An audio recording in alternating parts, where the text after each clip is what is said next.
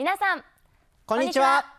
MBS アナウンサーの前田遥です。気象予報士の前田智博です。二人合わせて前田。前田でお送りします。よろしくお願いします、はい、お願いいたします。さてこの番組は気象予報士がお天気に関するさまざまな疑問や質問をテレビよりより長くより詳しくお伝えするコーナーになっております、はい、皆様お天気の疑問や質問こちらのアドレスまでお送りください。採用された方にはですねなんと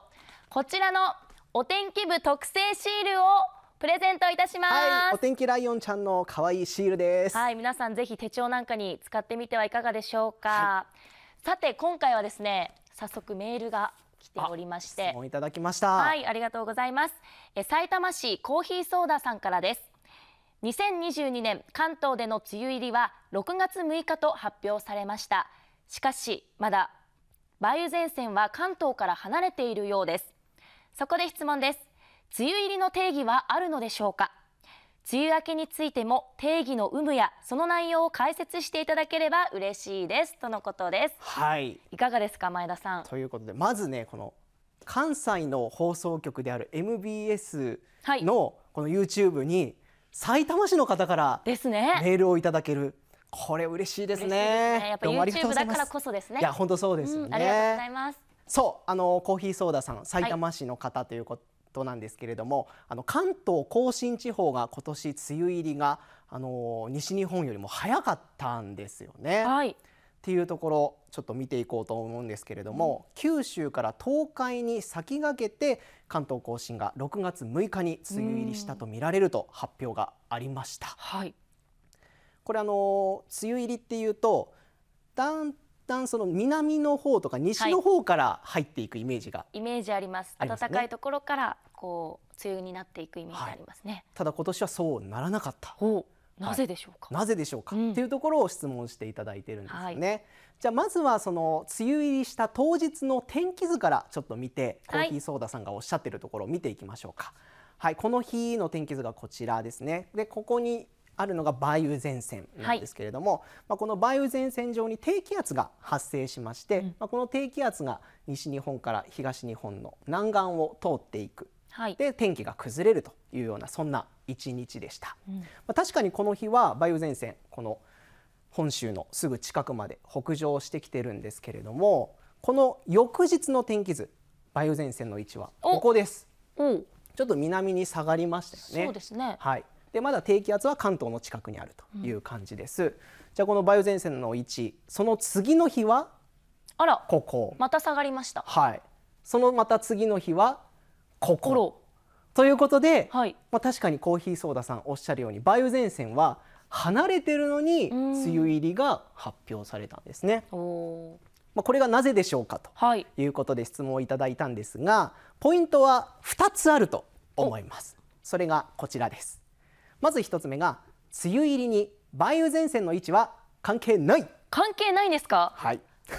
梅雨前線っていう名前なのに。なのに関係ない、えー、関係ない。はい、はい、ところが一つ。でもう一つが東日本と西日本の梅雨っていうのは実はちょっと違うんですよ。えー、全く気づいてませんでした、えー、そう。同じ梅雨だけれどもちょっと違うっていうところがポイントの2つ目、うん、ということでじゃあ1つ目のこの梅雨前線の位置は関係ないっていうところから見ていきましょうか。はい、あの梅雨入りっていうところでまず梅雨ってそもそも何なんですかっていうところから確認していきましょうかね。うんはい、あの定義はあるんですかっていうふうにおっしゃってましたけれども気象庁の定義でいう梅雨っていうのは晩春から夏にかけて雨や曇りの日が多く現れる期間というものです。私、うん、雨だけだと思ってました。雨だけじゃないんです。曇りの日も入るんですね。雨とか曇りの日が続くことをぐずついた天気っていうふうに言うんですけれども、うん、まあそういうぐずついた天気になる。そういった日が多く現れる期間のことを梅雨と言っています、はい、まあ言葉にしたらまあ確かにそうかなっていうところではあるんですけれども実は梅雨入りがどういうものかっていうことに関してははっきりした定義はありませんでもやっぱり大事ですよね。梅雨入りって結構敏感に反応しちゃいます。やっぱりね大雨が増えるシーズンに入ったよっていうことをお知らせするものですし、はい、社会的な影響も大きいっていうことで、まあ、気象庁もこの梅雨入りまた梅雨明けを発表しているわけなんですよね。はい、じゃあこの梅雨なんですけれどもどうやったら梅雨入りっていうふうに考えるのか判断するのかっていうところ、うん、ポイントになるのはその先1週間の天気なんですよ。うん、はい、まああの 梅雨前線の位置っていうのは、全然定義に入ってない意外そうなんですだから曇りや雨の天気が梅雨前線の影響によるものかどうかっていうところは関係ないんですよね。1週間なんですね。はい、1週間の天気がどうなるかっていうところがポイントになります。で、まあ気象庁がその梅雨入り梅雨明けを発表するんですけれども、この梅雨入りを検討しているのはこの先1週間の天気なので、週間予報を担当する予報官の方。なんですね。そういう担当があるんですね。はい。まあ、週間予報毎日出るわけなんですけれども、まあその天気予報がどうかっていうのを検討している人たちが、うん、ここで梅雨入りかなっていうことを決める。割と明確ではないんですか？結構悩む。ここがおそらくね予報官の方も悩みながら、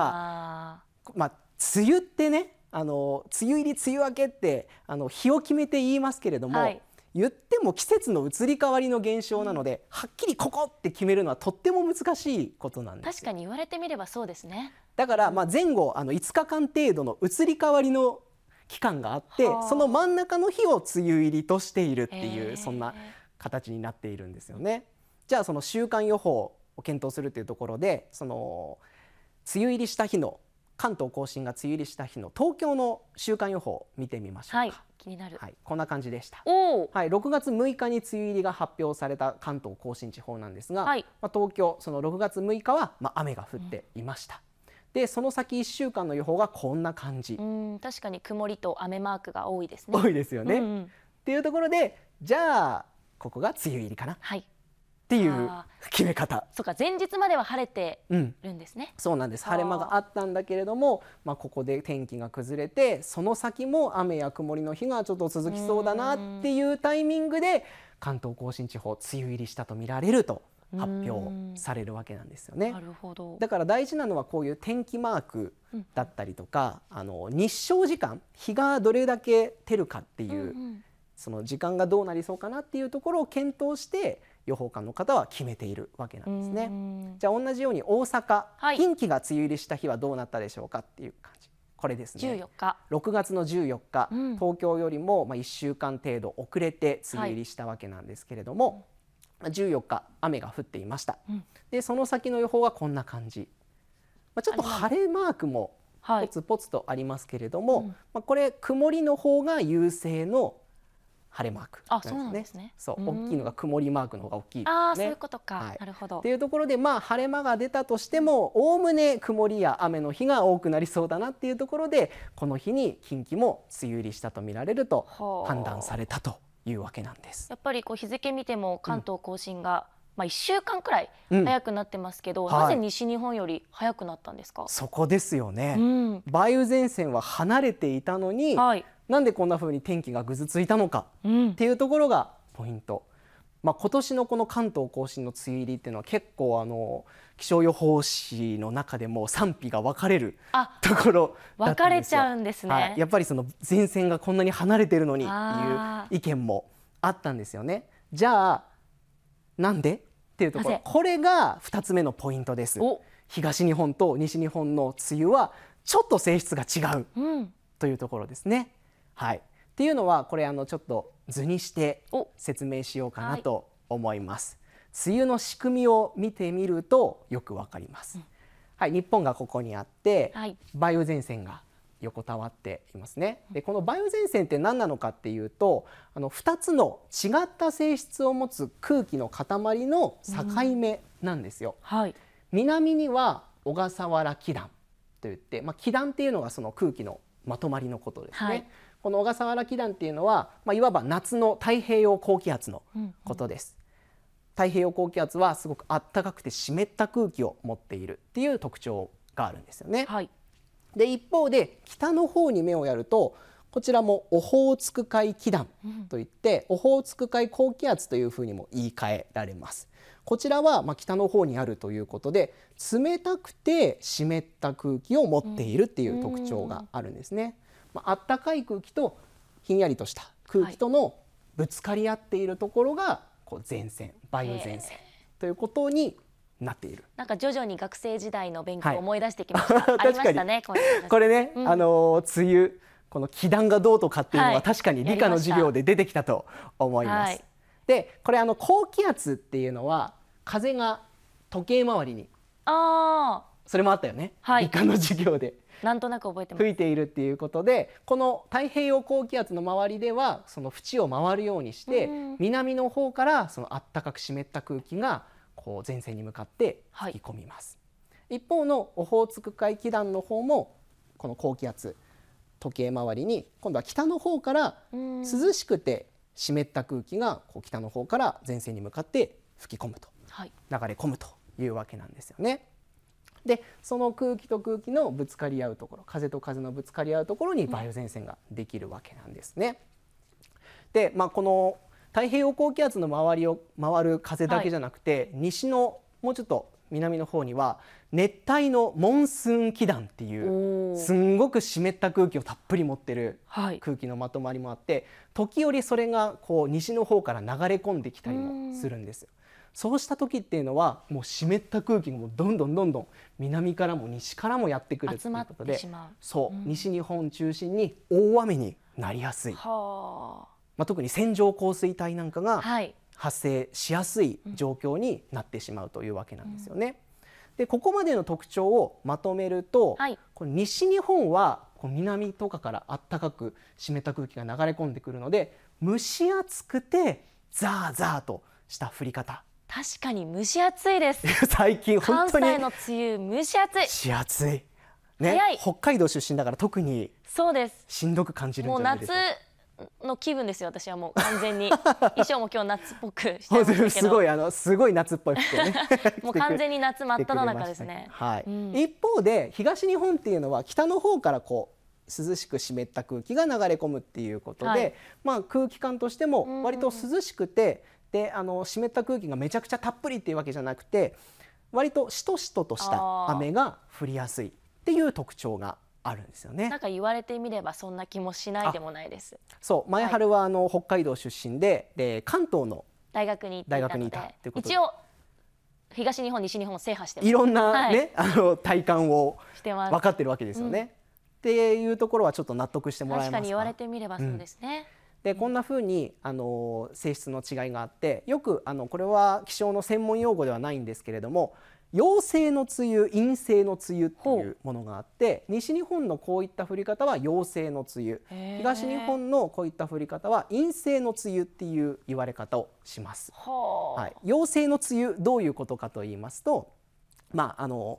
激しい梅雨っていうイメージですね、うん、強い雨がざっと降ったかと思うと、まあ、バッと晴れたりもする、まあ、そういう変化の激しい梅雨の現れ方、うん、で気温は高めっていうのがこの陽性の梅雨っていうふうに言われます。で一方の陰性の梅雨っていうのはまあ、のあんまり強い降り方にはならずにしとしととした降り方なんだけれども、うん、まあ、それがずっとなんか長いこと続いてるなっていうような、えー、そんな梅雨のことを陰性の梅雨。で気温は低め、ということで、まあ、まさにこんな風に西日本東日本の特徴に結構当てはまってくるなっていうことをよく言われるんですね。まあどちらにせよちょっと私梅雨嫌です。ちょっと。まあね、ね、あのあんまり得意ではないっていう方も多いかもしれませんけれどもね。はいうん、まあでもやっぱりあの水不足を解消するためには大事な時期でもありますし、で今年に関してはまさにこういった特徴が現れたあの梅雨入りだったのかなと思ってるんです。もう一度その梅雨入りした、はい、関東甲信が梅雨入りした当日の天気図見てみるとここにしっかりオホーツク海高気圧があるんですよね、ね、はい、はい、だからその高気圧の縁を回って涼しくて湿った空気がこう関東甲信の方に流れ込んできて、まあ、しばらくちょっとぐずついた天気が続いた。でこの湿った空気は西の方にまではなかなかたどり着かないので西日本より先に関東甲信の方がぐずついた天気になりやすくなったというわけで、まあ、この特徴の違いが今回のちょっと珍しい梅雨入りの順番の仕方をもたらしたというわけなんですね。ちょっと南からのイメージと変わりましたね。両方からなんですね。そうなんです。両方から空気が押し合いへし合いしているのが梅雨前線なんだよっていうのをちょっと天気予報で天気図が出てきた時なんかも見てもらうとね、ね、勢力争いって感じで面白いんじゃないかなと思います。でもコーヒーソーダさんもよく気づきましたね。いや本当に。すごい。ねあの、うん、お天気のことをしっかりね、気づいて考えてくださってるんだなっていうのをすごく思いました。質問どうもありがとうございました。で、ね、ちなみにあの前春が出身のその北海道には梅雨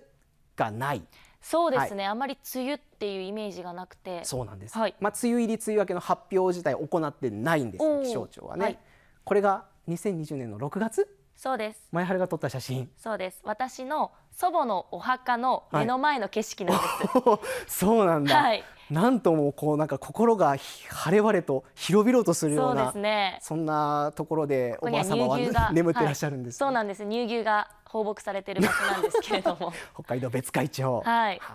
まさにこれ6月の天気なんですけれども、うん、こんな青空が広がってます。結構気持ちよく晴れたりすることも多いんですよね、はい、ただ、うん、あのまあニュースとかではまあ全国的な梅雨っていう話題が取り上げられるのでまあ梅雨のことは知ってたんですけど、うん、北海道も確かに雨っぽい日が続くなっていうのは感覚としてはありました。はいはい。実際その北海道でも梅雨みたいにあの雨が続いたりだとか、はい、でこの時期に大雨になったりっていうことがあるんですけれども、うん、まあその現象をエゾ梅雨なんていうふうな言い方をしたりします。知らなかったです。そうなんです。うん、でまあ梅雨前線あの太平洋高気圧が勢力ぐぐぐっと押し上げて夏の盛りになったらこう梅雨前線が北までぐっと押し上がって梅雨明けっていう感じになるわけなんですけれども、はい、まあ、その過程で北海道付近に梅雨前線がちょっと居座っちゃうような時期もあって、うん、そういう時に雨が続いたりしやすいんですよね。ただこの蝦夷梅雨については毎年毎年決まって現れる現象ではないそうなんですか。他の地域には必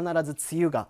あるってやってくるんですけれども、まあ、そういったところから気象庁も北海道に関しては梅雨入り梅雨明けの発表はやっていないと。うんいうわけなんですね。